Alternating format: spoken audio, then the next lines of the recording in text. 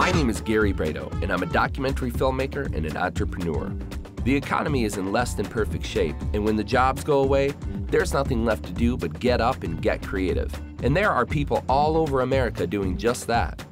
It's estimated that up to 85% of new businesses fail.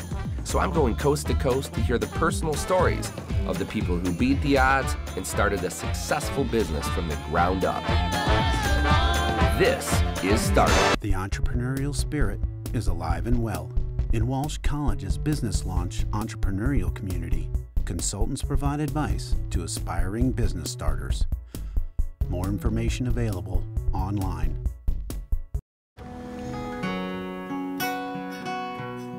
The Chevrolet Volt, an everyday electric car with gas for longer trips. The nature of things to come. Oh, Chevrolet. Find new roads.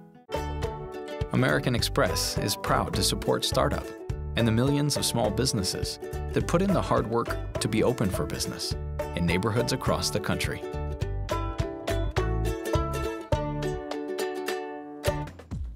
The most valuable way to find an investor is, as we all say, OPM. And OPM, though, is not other people's money necessarily. I was taught by uh, my mentor, Jay Abraham, that OPM could be other people's mind power, other people's manpower, other people's marketing, and you can also make other people's manufacturing, and you can also make money off of other people's mistakes.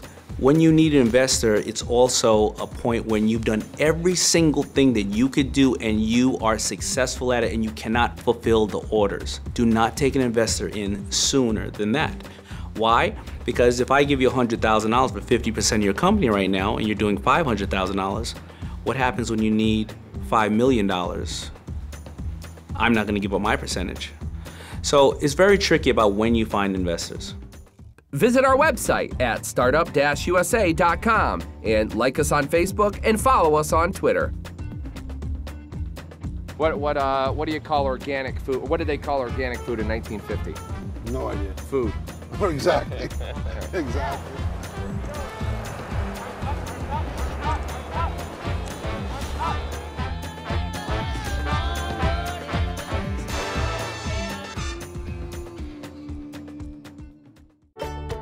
American Express is proud to support startup and the millions of small businesses that put in the hard work to be open for business in neighborhoods across the country.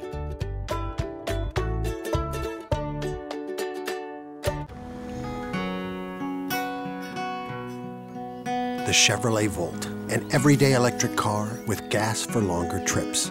The nature of things to come. Oh, Chevrolet. Find new roads. The entrepreneurial spirit is alive and well. In Walsh College's business launch entrepreneurial community, consultants provide advice to aspiring business starters. More information available online.